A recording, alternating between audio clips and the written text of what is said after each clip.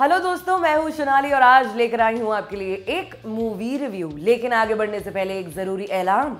Lalan top team और हमारे संपादक सौरभ द्विवेदी पहुँच चुके हैं। जानने क्या हाल है यूपी? यही सवाल पूछा जाएगा, आपको बताया जाएगा और हमारे संपादक सौरभ द्विवेदी को आप लाइव देख पाएँगे उनके नए पते। लल्लन टॉप यूपी, हमारे इस नए यूट्यूब चैनल पर। इस वीडियो के डिस्क्रिप्शन बॉक्स में लिंक दिया गया है, जिस पर क्लिक करके आप चैनल को सब्सक्राइब ज़रूर करें। अब आगे बढ़ते हैं हमारे मूवी रिव्यू की ओर। मार्वल सिनेमैटिक यूनिवर्स 2008 में आई आयरन मैन से शुरू हुआ और अब तक चल रहा है। अब इस यूनिवर्स की 24वीं फ़िल्म रिलीज़ हुई है। ब्लैक विडो काफ़ी डिले के बाद फ़िल्म 3 सितंबर को इंडिया में रिलीज़ की गई। वो भी डिज्नी प्लस हॉटस्टार पर। शायद पहली मार्वल फ़िल्म है जो डायरेक्ट ओटीटी प्लेटफॉर्म पर रिलीज़ की गई है। हालाँकि अमेरिका में फ़िल्म को थिएटर और डिज्नी प्लस पर साथ ही रिलीज़ किया गया था।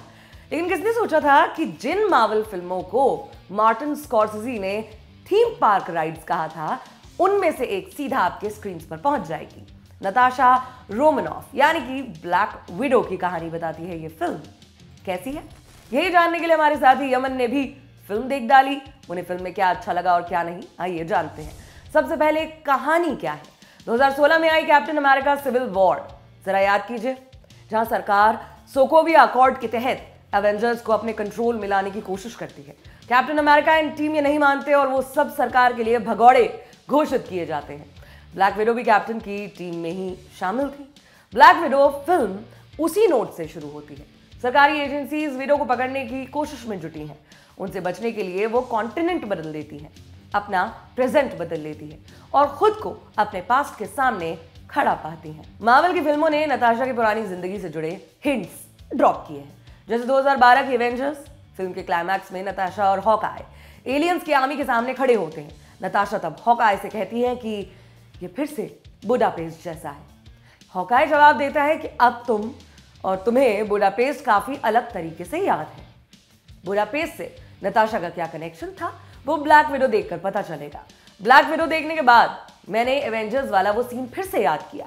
सबसे अच्छी बात ये लगी कि उस सीन में नताशा के किरदार ने बुडापेस्ट का जैसा उच्चारण किया था ना, ठीक वैसा ही उच्चारण उसने ब्लैक विडो में भी किया।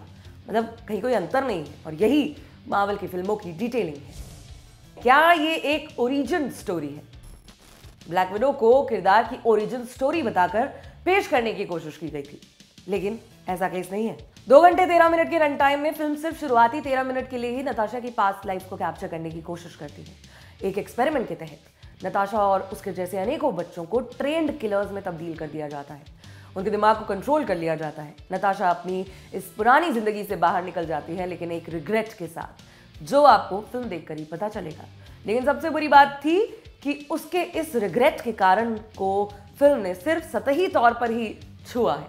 नताशा अपनी जिस ज़िंदगी से भाग रही होती है, भाग रही थी फ़िल्म उस ज़िंदगी में गहराई से नहीं उतरी।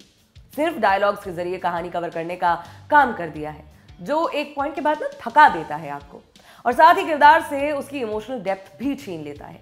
उसे ऊपर ऊपर से दिखने वाला एक पोस्टर बना देता है। अब ये कहना गलत नहीं होगा कि ब्लैक विडो ने अपने मुख्य किरदार की बैक स्टोरी के साथ इंसाफ नहीं किया। लेकिन ऐसा नहीं है कि फ़िल्म की राइटिंग को सिरे से नकार दिया जाए। मावल फ़िल्मों में मेरी सबसे पसंदीदा चीज़ है डिटेलिंग जिस पर लगभग हर फ़िल्म में बारीकी से काम किया जाता है। ब्लैक विडो में भी हुआ है। एक एग्ज़ाम्पल बताते हैं। ये कहानी कैप्टन अमेरिका सिविल वॉर के बाद की चलती है। जो 2016 में आई थी। मान सकते हैं कि ब्लैक विडो के इवेंट्स भी 2016 में ही घट रहे हैं। एक सीन में नताशा ड्राइव कर रही हैं। उनकी गाड़ी में हल्की वॉल्यूम पर एक गाना चल रहा है। सिया का चीट थ्रिल्स ये गाना 2016 में ही आया था और चार्ट बस्टर बना था।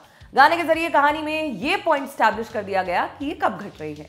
ये पॉइंट कहानी के रिस्पेक्ट में कोई महान डिस्कवरी तो नहीं है, लेकिन देखकर अच्छा लगता है, जब मेकर्स अपनी ऑडियंस को ग्रांटेड नहीं लेते। अब फ़िल्म की सबसे अच्छी बात क्या है? फ़िल्म में स्कारलेट जॉनसन ने ब्लैक विडो वाला किरदार रिप्राइज किया है।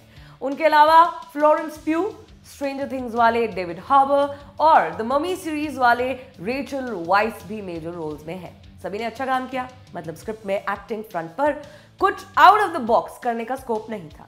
फिर भी लीड एक्टर्स का काम ठीक था। फ़िल्म की साकास्ट उसका सबसे मज़बूत पक्ष नहीं।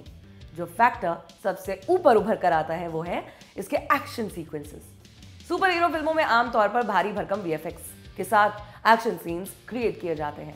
हम यहाँ ऐसे सीन्स की बात नहीं कर रहे हैं। बात कर रहे हैं हैंड टू हैंड कॉम्बैट वाले फाइट सीन्स की, जिन्हें तरीके से कोरियोग्राफ किया गया था। फिर चाहे वो नताशा का अपनी बहन से लड़ने वाला सीन हो या फिर आगे आने वाले फाइट सीन्स सब एंगेज रखने का काम करते हैं। लेकिन काश ऐसा फ़िल्म की राइटिंग के लिए भी कहा जा सकता होता। अब दी टॉप टेक।